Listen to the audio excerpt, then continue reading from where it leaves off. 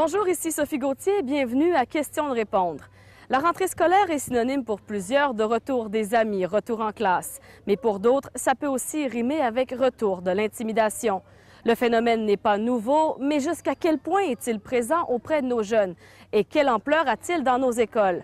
Pour répondre à notre question citoyenne cette semaine, nous sommes à Dolbeau-Mistassini, à l'école secondaire des Chutes, où depuis 2001, on s'attaque à l'intimidation en milieu scolaire.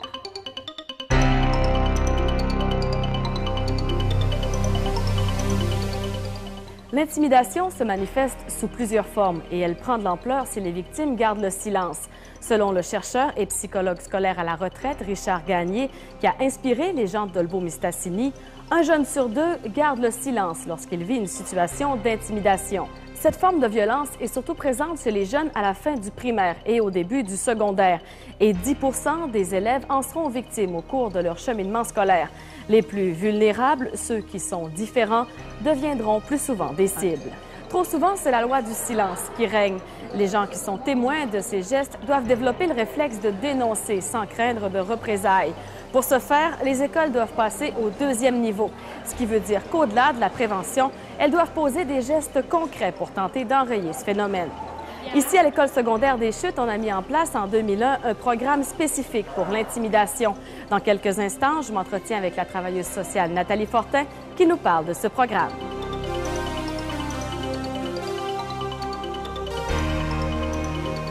Madame Fortin, tout d'abord, bienvenue à l'émission. Bonjour. On parle aujourd'hui d'intimidation en milieu scolaire. Vous êtes travailleuse sociale, vous avez à côtoyer les jeunes fréquemment. Ici, à, l'école secondaire des Chutes, faites-nous le portrait un peu à quoi peut ressembler l'intimidation dans le milieu scolaire. Vous voulez dire au niveau des gestes? Oui, au niveau des gestes. Le portrait un peu de la situation ici à l'école secondaire. Nous, la principale intimidation qu'on voit, c'est plus des moqueries, euh, des rumeurs, un petit peu de cyber-intimidation. Ce qu'on voit le moins, c'est des bagarres, des bousculades, c'est des choses qu'on voit le moins. Euh, on sait où à peu près où ça se passe. On sait que ça se passe quand les jeunes sont en déplacement, ici dans l'Agora, dans les escaliers, au casier. Euh, c'est ce qu'on sait euh, au niveau de l'intimidation dans notre école. En 2001, on a décidé d'avoir une offensive, en fait, pour contrer ce phénomène-là. Pourquoi on a décidé de mettre un programme en place ici? En 2001, on n'avait pas une équipe de service aussi complète qu'on a présentement. Euh, je me retrouvais à faire beaucoup, beaucoup de, gestion au niveau de l'intimidation. Il n'y avait pas de cadre de référence en place, il n'y avait pas de politique scolaire claire. À un moment donné, je me suis assise avec la direction, on a éclairci un peu, euh, bon, qu'est-ce qu'ils attendaient de moi. Et on n'attendait pas que je fasse juste l'intimidation. De toute façon, je ne serais pas arrivée toute seule. On s'est assis avec des enseignants à l'époque, trois ou quatre enseignants avec la direction. On a réfléchi, on a commencé par se mettre... Euh, un cadre de référence. Hein. On, dit l'intimidation, on n'en veut pas dans notre école. Oui, mais comment? Comment on va la gérer? Donc, on, a bâti une politique scolaire en quatre étapes qui implique euh, bon, les services, qui implique les enseignants, euh, qui implique la direction, qui implique les parents. Fait qu'on a vraiment cherché à, impliquer les adultes qui sont euh, autour des jeunes au niveau de l'intimidation. Et c'est une politique qui est éducative et graduelle, elle n'est pas répressive au départ, est éducative au départ. On travaille par médiation. C'est comme ça qu'on a commencé en 2001. On a appliqué ça, on a formé notre personnel parce qu'il y a des enseignants qui font euh, les médiations, c'est seulement des adultes qui font les médiations. Donc, en, 2001, on a travaillé ça. En 2004, on est allé chercher la collaboration des élèves, euh, des élèves ambassadeurs. Donc, euh, chaque année, on a 15 à 20 élèves qui travaillent avec nous, qui sont nos yeux et nos oreilles dans l'école. C'est des jeunes conformes qu'on voit une fois par cycle et qu'on leur donne une petite formation graduelle tout au cours de l'année. C'est à peu près une quinzaine de rencontres, 15 à 18 rencontres. Donc, on forme ces jeunes-là pour qu'ils nous aident au niveau de l'intimidation. Ces jeunes-là ont quatre mandats. Euh, ils ont un premier mandat de dénoncer l'intimidation. Ils peuvent intervenir s'ils ne se sentent pas eux-mêmes mis en danger. Euh, ils, ont le mandat d'avoir un contact positif avec les autres jeunes dans l'école, un sourire, un bonjour, c'est ça, un contact positif. Et le dernier mandat qu'ils ont, c'est d'accompagner les jeunes qui sont intimidés vers les services. Fait ça, c'est notre volet ambassadeur, c'est notre volet jeune. Et on a un autre volet qui s'appelle Coup de pouce. Ce, projet-là, il est plus l'idée maintenant par des éducatrices. Et euh, coup de pouce, c'est euh, des jeunes qui ont des problèmes au niveau des habiletés sociales, des jeunes qui sont retirés, qui sont isolés, qui sont intimidés. On regroupe ces jeunes-là une fois par semaine. Euh, on travaille avec eux un peu au niveau des habiletés sociales. On travaille à ce qu'ils s'intègrent dans les activités de l'école, les activités de Noël, les activités du carnaval, les danses. Et on pense que c'est une bonne, une bonne protection contre l'intimidation. Vous parlez des ambassadeurs. Comment on cible ces jeunes-là au début de l'année scolaire pour savoir qui a le potentiel de devenir un ambassadeur? OK. En début d'année scolaire, au début octobre, mi-octobre à peu près, Euh, il y a une tournée de classe de fait où on parle, on va faire une sensibilisation complète auprès de tous les élèves au niveau de l'intimidation. On leur parle de trois acteurs principaux, les intimidés, les intimidants et les témoins. Les, témoins, pour nous, c'est un peu les ambassadeurs. Et euh, euh, donc, on leur parle de ces trois acteurs-là et on fait une dénomination par les pairs. À la fin de la, rencontre dans les classes, chaque jeune reçoit euh, une feuille avec tous les élèves de sa classe et il y a trois colonnes. Les personnes qui sont intimidantes, les personnes qui sont intimidées et les personnes qui seraient des ambassadeurs potentiels. Un ambassadeur, ça prend quelqu'un qui a une bonne capacité à communiquer, qui a le respect des autres, qui est crédible, qui connaît les ressources. Euh, c'est quelqu'un qui a un bon jugement. On, on, met des, des caractéristiques précises. Et à partir des trois colonnes, le jeune, euh, chaque jeune cote qui a son idée dans l'école, dans la classe, c'est-à-dire est intimidé, est intimidant ou pourrait être un ambassadeur potentiel. Donc, ce qui veut dire que pour ceux qui ont tendance à garder le silence, les autres autour qui sont témoins de gestes peuvent les cibler au début de l'année. Et ça, cette dénomination par les pairs-là est donnée à chacun des tuteurs. Et le tuteur est en mesure de voir dans sa classe qui est plus à risque de subir l'intimidation, qui est plus à risque d'en faire et qui sont ces personnes positives vers qui il, peut aller, il pourra aller chercher l'information ou valider son information s'il en avait besoin.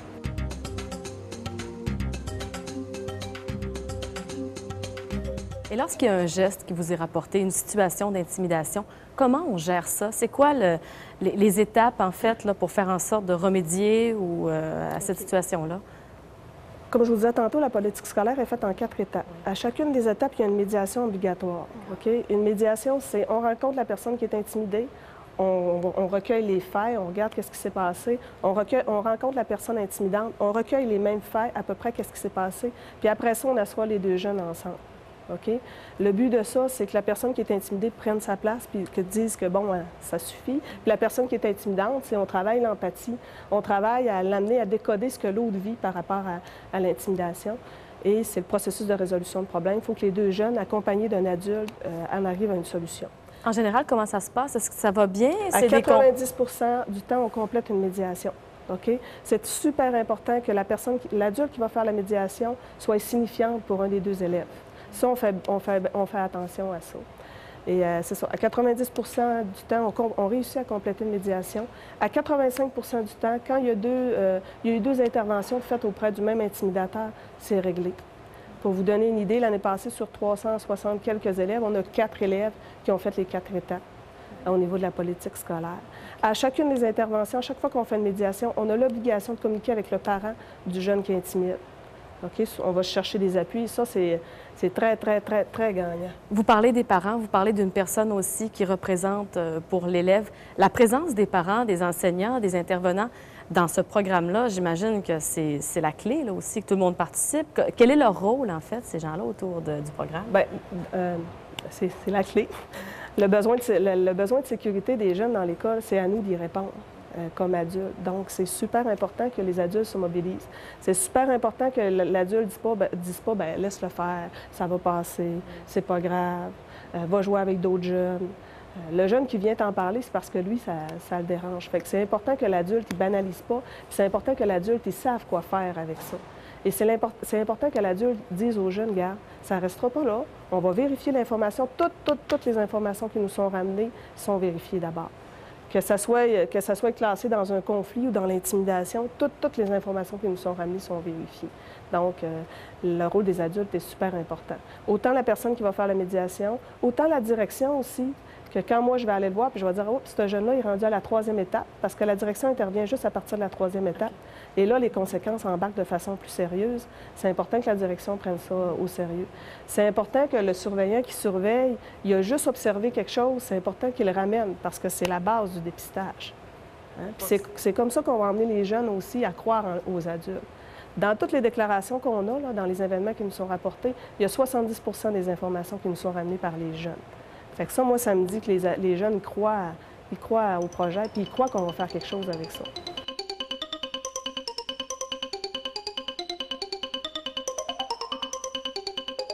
Il y a une partie d'intimidation qui peut se dérouler à l'intérieur des murs de l'école, mais il y a aussi les médias sociaux. On n'y échappe pas, les jeunes sont euh, constamment là-dessus. Est-ce qu'il y, a un aspect qu'on est capable d'aller faire aussi de, prévention euh, du côté des médias sociaux? Est-ce que c'est une réalité qui vous touche? Euh, oui, c'est une réalité qui nous touche. L'école, c'est un milieu de vie. Hein. Donc, euh, moi, si ça se passe dans les médias sociaux, si ça se passe dans la ruelle d'à côté, puis que mes deux jeunes sont dans la même école, c'est sûr que l'intervention va se compléter. Fait que le jeune ne peut pas me répondre euh, ça ne s'est pas passé à l'école, Nathalie, tu t'en occupes pas. Non. Moi aussi, c'est un milieu de vie. Euh, moi, a un jeune qui m'arrive de la maison puis qui a été victime de violence, je vais m'en occuper. Je ne le laisserai pas là. Mais c'est la même chose. L'intimidation, c'est une forme de violence. C'est un non acceptable, que ce soit dans l'école ou pas. Ces jeunes-là cohabitent. Donc, on va compléter l'intervention comme, euh, comme dans le processus, comme dans le protocole. On va communiquer le parent, on va compléter une médiation. Est-ce qu'il y en a fréquemment des plaintes qui vous sont rapportées pour des jeunes qui ont vécu de l'intimidation sur, euh, sur Internet, sur les médias sociaux? Est-ce que c'est plutôt marginal ou il y en a souvent? Bien, c'est assez régulier. Je vous dirais peut-être pas toutes les semaines, mais il y a quelques cas qui nous sont rapportés au courant de l'année. L'ensemble de, ce qu'on a mis en place ici, est-ce que ça fait boule de neige jusqu'à présent? De quelle façon ça a pu être repris par d'autres écoles euh, jusqu'à présent? L'an dernier, on est allé au niveau régional au, ministère de l'Éducation présenter notre projet à différentes écoles. On est aussi allé euh, au, colloque des, psychologues scolaires à Trois-Rivières où on a présenté notre projet. Euh, en globalité. Ces deux événements-là, c'est qu'on présentait le projet en, globalité. Euh, plus au niveau de la commission scolaire, on a formé des écoles au niveau de la médiation. Là, c'était plus le côté médiation que, que recherchaient comme, euh, comme besoin. Il faut dire que nous, on a une spécificité au niveau de l'école, on a secondaire 1, secondaire 2. Donc, c'est sûr qu'une école qui veut prendre notre projet, puis une clientèle de secondaire 1 à 5, il y a des petits ajustements à faire. Il faut à ce moment-là l'adapter à la clientèle. Tout à fait. Donc, les écoles prennent des informations et c'est pas l'ensemble du programme, mais c'est certains aspects, c'est ça? Certaines écoles prennent l'ensemble, certaines autres écoles prennent juste des petites parties. Bien, je vous remercie beaucoup, Mme Fortin, d'avoir été avec nous. Merci. Merci d'avoir participé à l'émission. Vous voulez réponse à vos questions? Vous souhaitez avoir l'avis d'experts sur l'actualité de votre région? Contactez l'équipe de questions de répondre par téléphone au 88 541 5920, par courriel à questions de répondre à commercial voxtv.ca ou écrivez directement à l'animatrice via le sophie.gautier à commercial hebdoquébécois.com. Pour un complément d'information, consultez la rubrique questions de répondre dans les pages de votre journal Le Réveil. Madame Nicole Aymon, bonjour. Bonjour. Vous êtes présidente du syndicat de l'enseignement de la Jonquière. On parle d'intimidation. Euh, comment, vous, comment ça se passe dans les écoles par rapport à l'intimidation? Dans les écoles, euh, écoutez, euh, il y a depuis, au quotidien des gestes de violence qui se manifestent par des gestes, des paroles, des insultes, de, la violence physique. et récemment, un phénomène, bien récemment, depuis les dernières années, un, un, phénomène nouveau en lien avec la violence, la cyberintimidation. Donc, des insultes, des propos haineux qui sont euh, écrits sur les réseaux sociaux, Facebook, Twitter, etc. Donc, ça, ça s'ajoute à ce qui se vit déjà au quotidien dans les milieux. Ça vous préoccupe comme enseignant? Ça nous préoccupe énormément comme enseignants, comme euh, membres du réseau scolaire et évidemment également, parce que euh, ce n'est pas quelque chose qui se passe, malgré ce qu'on peut croire, euh, à la maison. Il y a des conséquences dans les écoles, dans les classes, parce que souvent les auteurs sont connus. Et c'est ce qui fait que c'est évident que ça joue sur l'éducation, sur l'encadrement au quotidien des élèves. Sur la persévérance scolaire aussi? Sur la persévérance scolaire et également, évidemment, euh, un jeune qui vit ce genre de situation, ce genre de, violence peut euh, vivre de, la dépression, de, la détresse, euh, qui peut l'amener à détester l'école et évidemment à être potentiellement décrocheur. Comme enseignant, vous êtes fréquemment avec les jeunes, vous êtes régulièrement avec eux. Qu'est-ce que vous avez comme outil pour intervenir, pour déceler des signes d'intimidation? Écoutez, il n'y a pas de recette. Hein. Vous mentir euh, que, de vous dire qu'il y a des recettes toutes faites, qu'on euh, a un éventail d'outils qu'on doit adapter à la situation qui se vit. Euh, je prends sur les cours d'école, il y a euh, du parrainage, euh, il y a des systèmes d'encadrement qui sont mis en place. Dans certaines écoles polyvalentes, il y a bon, le, service de policier, des agents, il y a toutes sortes, mais je pense que le plus important, c'est les actions concertées de tous les partenaires, quels qu'ils soient, externes, internes à l'école. Donc, que ce soit une action entre enseignants, avec les professionnels, les soutiens, les directions d'école et les parents. Parce que c'est une clé aussi. Il ne faut pas que la violence soit euh, traitée en vase clos. Ça doit euh, avoir une continuité en lien avec ce qui se fait à la maison, ce qui se vit, ce qui se dit également. On doit être en communication constante quand on voit des enfants qui souffrent. Euh, vous savez, la souffrance, c'est souvent un phénomène individuel. le premier défi, c'est sûrement de la dénoncer.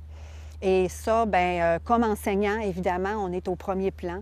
Et comme euh, les autres partenaires également, les professionnels parfois qui rencontrent des élèves, euh, c'est de sortir la violence du contexte individuel, du sentiment individuel, et pour que l'enfant tranquillement s'exprime, qu'on trouve des solutions à sa situation.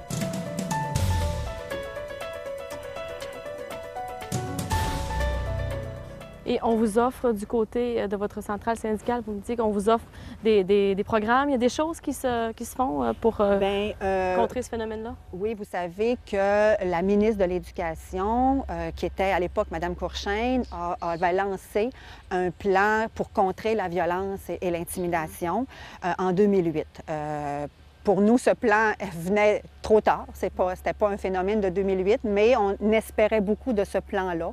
On était partenaire sur les tables nationales en suivi à ce plan. Euh, nous sommes déçus. Nous sommes déçus euh, des résultats et du peu de, soutien euh, financier et autres qui ont été mis en lien avec ce plan-là, parce que c'est beau des plans, mais il faut se donner les moyens d'agir.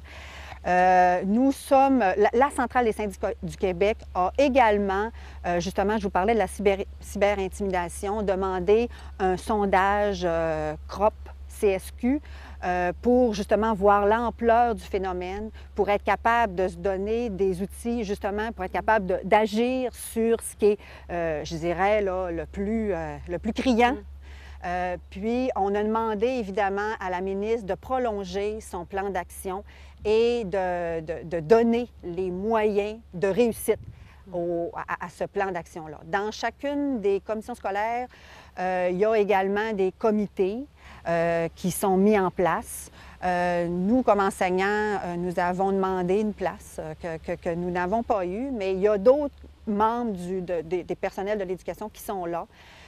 et pour, pour justement que, ce plan-là ne, ne, reste pas sur les tablettes, mais qui se manifeste concrètement pour les élèves.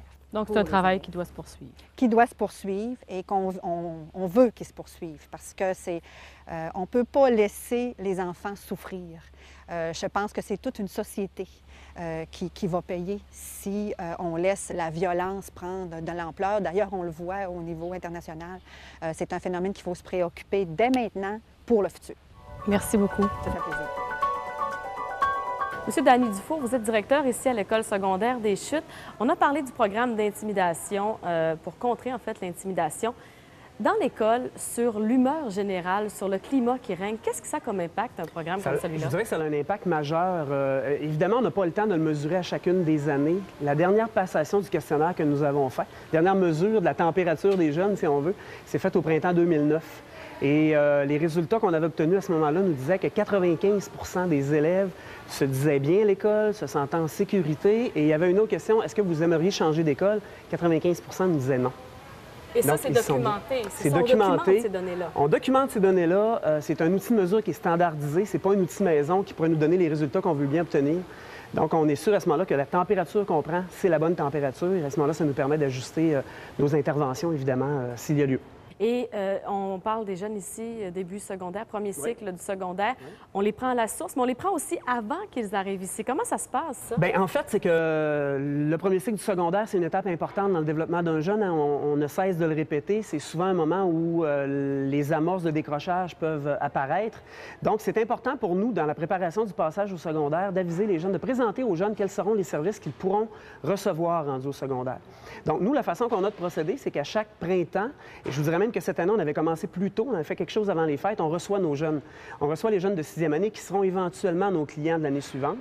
Et dans la présentation des services, il y a une rubrique projet ambassadeur où on traite de l'intimidation. Et ça, je pense que c'est de nature justement à faire abaisser l'anxiété et de permettre aux jeunes d'avoir euh, une entrée au secondaire qui est réussie.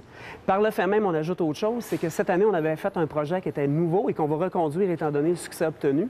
C'est que lors de la première journée de classe, les nouveaux élèves sont seuls dans l'école. Donc, les élèves qui ont déjà du vécu dans l'école ne sont pas là. On leur donne congé lors de la première journée.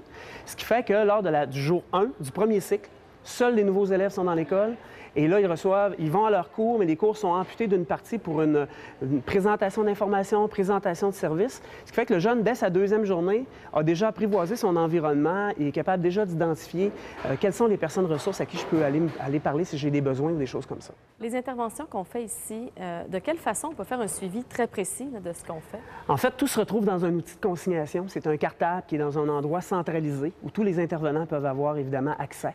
Donc, c'est au secrétariat. Il y a un outil de consignation qui s'y trouve, euh, de telle sorte que chaque intervention est consignée. Donc, l'agresseur, si on veut, l'intimidant, a une fiche qui est ouverte à son nom.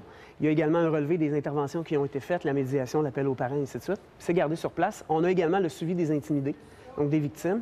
Donc, ce qui fait que si, euh, peu importe la, personne qui intervient, parce qu'au niveau du comité ambassadeur, on est très nombreux. Euh, il y a des enseignants, il y a des professionnels, il y a des gens du soutien, il y a la direction. Donc, peu importe, la, personne va indiquer qui est intervenu. Et à ce moment-là, bien, lorsque vient le temps de faire une intervention subséquente, la deuxième, la troisième, on peut voir qu'est-ce qu'il y a eu au préalable. Et si on a besoin de précision, bien, il s'agit d'aller voir qui est intervenu pour euh, ajuster euh, l'intervention en conséquence. J'imagine que ça, c'est un outil essentiel pour ceux qui font suivi. C'est évidemment indispensable parce que sinon, on va, on va rater notre coup. Et euh, pour nous, c'est sécurisant aussi. C'est compilé. Il y a l'outil papier, il y a l'outil informatique aussi. Donc, il y a une secrétaire qui, périodiquement, va entrer dans un tableur euh, les données. Donc, on est capable, dans un seul coup d'œil à l'écran, de voir où est-ce qu'on est rendu aussi. Alors, quels sont les lieux, euh, à quel moment ça se passe? Donc, on a toujours un portrait, je dirais, quasi en temps réel de la situation au niveau de l'intimidation dans l'école. Et par le fait même, pour vos statistiques, ça vous permet aussi d'avoir euh, un portrait un du portrait, nombre d'interventions Un portrait du nombre d'interventions. On parle d'à peu près 200 événements rapportés par année. ça, ça nous permet ça, mais ça nous permet aussi d'ajuster en cours de route. S'il arrive une problématique imprévue, Bien, on va s'asseoir en comité puis on va, on va certainement chercher des solutions pour pallier à ce problème-là. Merci beaucoup. Plaisir. Déjà bien connu pour ses services téléphoniques et Internet, Tel Jeune s'intéresse à la problématique de l'intimidation et des autres formes de violence.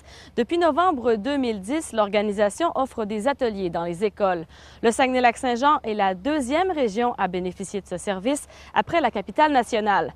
Dans un instant, je rencontre celle qui anime ces ateliers, la formatrice et agente de développement chez Tel Jeune, Cindy Tremblay. Madame Tremblay, vous animez des ateliers dans les écoles euh, auprès des jeunes pour euh, contrer l'intimidation. Le programme que vous avez mis en place chez Tel Jeune, euh, pourquoi justement on a décidé de, lancer un tel programme? C'est sûr qu'à partir de toutes les questions qu'on reçoit puis des appels à chaque année, ça fait 20 ans que tel jeune existe, donc on sait a de l'intimidation. Il y a beaucoup de jeunes qui téléphonent ou qui nous écrivent par courriel pour nous parler de l'intimidation. Fait qu'à partir de là, on s'est dit, bon, c'est important de monter quelque chose qui est euh, adapté pour les jeunes, qu'est-ce qu'ils vivent directement? Fait que c'est toujours à partir des questions qu'on reçoit qu'on monte nos ateliers. Qu'est-ce qu'on vous rapporte comme question, comme problématique d'intimidation? Qu'est-ce qui revient le plus souvent? Bien, c'est sûr que des jeunes qui nous écrivent, qui se font intimider, c'est-à-dire qu'ils euh, se font traiter de non, euh, il y en a qui se font bousculer, il y en a, puis ça fait plusieurs temps aussi que ça dure. Alors, ils nous écrivent pour savoir qu'est-ce qu'ils peuvent faire avec ça. Et les ateliers, comment ça fonctionne? Ça a commencé en novembre 2010. Comment ça se passe? Qu'est-ce qu'on fait? Oui, bien, durant les rencontres, nous, on prend une période de classe. Alors, selon euh, qu'on est au primaire ou au secondaire, 60 ou 75 minutes, on s'ajuste. Euh, dans les rencontres, on a une partie théorique et on a une partie aussi pratique. Donc, il y a beaucoup d'activités, beaucoup de place euh, pour entendre les jeunes, qu'est-ce qu'ils ont à dire justement durant euh, euh, les ateliers. Euh, ils sont interactifs. On arrive avec un projecteur, un PowerPoint, puis on, parle en, gros de l'intimidation. On cible beaucoup sur les témoins. parce que souvent, on a parlé de la personne qui est intimide, de la personne qui est victime, mais on oublie souvent tous les témoins qui sont autour, qui sont beaucoup plus nombreux. Donc, on essaie le plus possible de leur redonner du pouvoir. Euh, à ces témoins-là qui ont parfois peur parce qu'ils se disent, ben si moi j'agis, est-ce que c'est moi le prochain qui va être sur la liste? Est-ce que les jeunes s'ouvrent facilement quand il est question d'intimidation ou euh, Oui. ça prend un certain temps? Oui, non, ça se passe bien. Euh, comme dans beaucoup de sujets, les jeunes sont des grands livres ouverts. Du moment qu'on euh, commence à leur poser des questions, ils lèvent la main. Puis à la fin aussi, souvent, il y a des jeunes qui viennent nous parler directement. Euh, moi, je suis la seule ici dans la région, sauf qu'il y a une autre animatrice aussi à Montréal.